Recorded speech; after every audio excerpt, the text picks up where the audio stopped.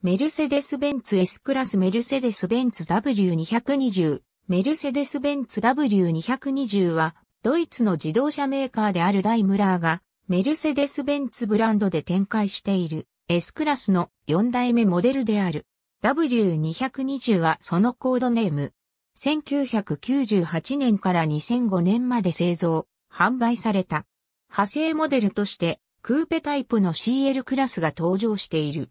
なおロングボディ仕様には別途 V220 というコードネームがあるが、通常はそれも含め W220 と呼ばれる。W220 ダッシュボード W220 は先代の3代目 S クラスが持っていた大柄で威圧的なボディを反省し、サイズダウンを施行したモデルである。W140 から全長で 75mm、全幅で 30mm、全高で 45mm 縮小されている。従来、メルセデスの S クラスといえば、世界で最高の実用車であるとともに、特権階級や富裕層、支配者層に好まれた権威の象徴でもあった。この W220 は、そのようなイメージを払拭するため、よりパーソナルでスタイリッシュなデザインを施行した。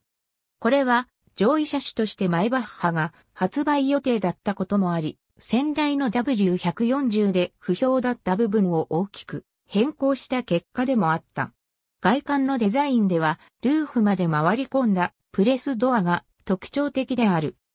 これは従来の S クラスから大胆に変更された最たるものである。車体の前後はイギリスジャガー風に強く絞り込まれ、ボディ全体はなだらかな丸みを帯び、各部のプレスラインも減らされ、スムーズなものとなり、各部クロームメッキも最小限とされた。W220 は高級大型セダンでありながらクーペ風のスポーティな外観を持ち、一般や新規の顧客層からは特に好評を呼んだ。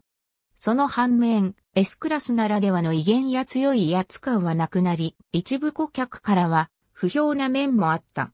後期型ではこれを踏まえ、ヘッドライト及びグリルの大型化などの変更がなされている。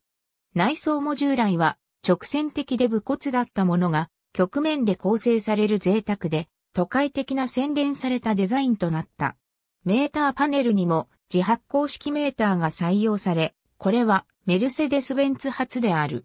シートは座り心地だけでなく見た目のデザインも追求された。シートの強制換気装置や各種電子装備なども増やされ、快適装備は大幅に充実した。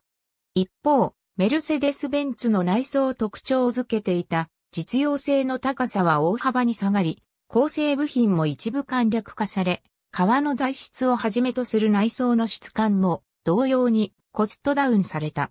なお、マイナーチェンジ後の後期型では、品質改善がなされている。上級グレード車を除き、各部品点数や構造は一部簡素化されたものの、燃費や走行性能は全面的に進歩している。全車にエアサスペンションが採用された。また、新たに四輪駆動モデルの4マジックが設定されている。この時代のメルセデス・ベンツは自動車産業全体を取り巻く環境の変化に伴い、有名な最善化無化というスローガンに象徴される妥協なき車作りから脱しようとしており、会社自身、我々はもはや特別な自動車メーカーではないとして、トヨタ自動車的な大量生産、フルラインメーカーとして改革中であった。このため設計や開発そして生産体制にも大きな見直しが入っている。結果、W220 はメルセデスらしくないと批判的に評されることが多い。